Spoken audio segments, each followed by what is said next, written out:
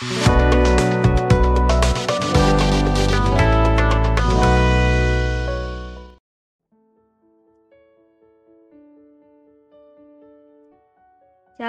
selamat pagi Bapak Ibu Saudara-saudara.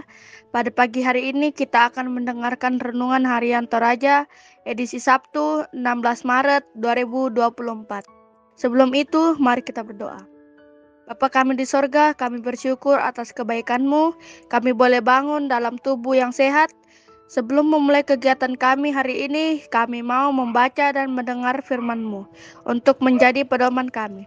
Berfirmanlah Tuhan, kami siap mendengar. Amin. Pembacaan kita pada pagi hari ini terambil dari Habakuk pasal 3 ayat 2 sampai 13. Di bawah judul Doa Nabi Habakuk Tuhan telah kudengar kabar tentang engkau dan pekerjaanmu ya Tuhan kutakuti. Hidupkanlah itu dalam lintasan tahun, nyatakanlah itu dalam lintasan tahun, dalam murka, ingatlah akan kasih sayang. Allah datang dari negeri teman dan yang maha kudus dari pegunungan Paran. Selah keagungannya menutupi segenap langit, dan bumi pun penuh dengan pujian kepadanya.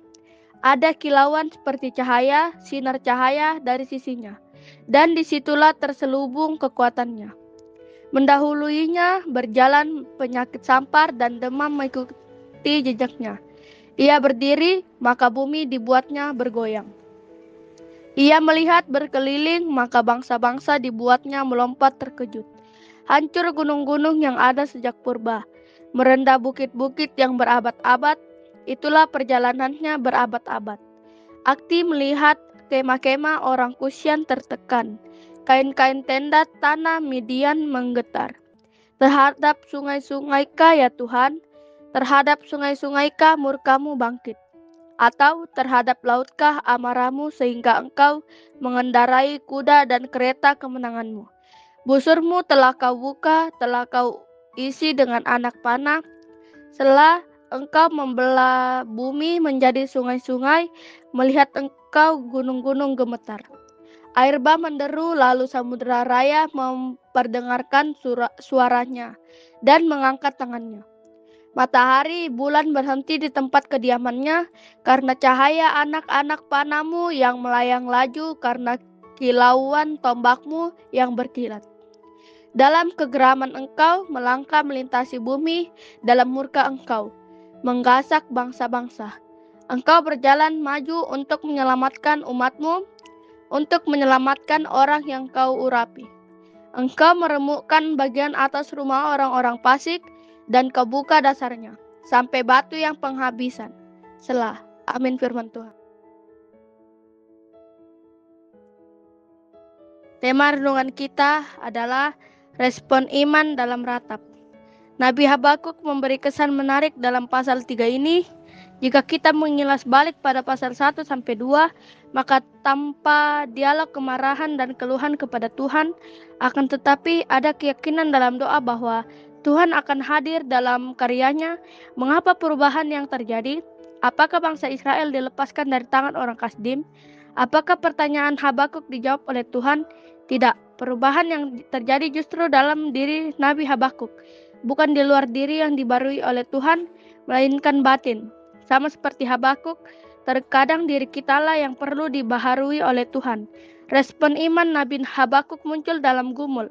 Ketika dia meratap tanpa sadar, Tuhan memberi kita waktu dan ruang untuk meratap dan peziarahan iman kita dalam iman. Nabi Habakuk percaya bahwa Allah pasti bertindak dalam kebenaran dan keadilannya seturut waktunya. Allah datang dari negeri teman dan yang maha kudus dari pegunungan Paran. Ada kilauan seperti cahaya. Allah pasti datang dan sinar cahaya itulah tanda kehadiran Allah. Selanjutnya Allah digambarkan seperti raja yang berkereta, lalu penyakit sampar dan demam yang mendahulinya. Itu adalah dewa sembahan orang Kanaan. Itu berarti Allah mampu mengendalikannya dan Allah yang berkuasa. Sederhanaannya, tidak ada hal di luar kontrol Allah. Nabi Habakuk dalam doanya melihat Allah jauh lebih berkuasa, bahkan mereka akan gemetar. Lebih jauh kita melihat Allah juga turut berperang. melawan sungai dan laut.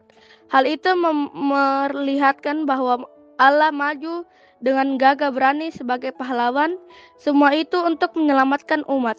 Orang yang diurapi karena itu dalam keteguhan iman Nabi Habakuk, ia mengalami proses dalam doanya bersama Tuhan. Akhirnya ia mengalami kemenangan dan bertumbuh dalam Tuhan. Amin firman Tuhan.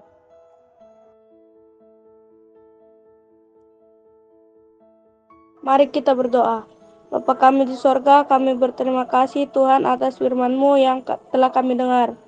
Tolong kami hari ini dalam setiap kegiatan kami. Berkati Ibu Pendeta, Majelis Gereja dalam pelayanan di Jumat Bethlehem Tarakan.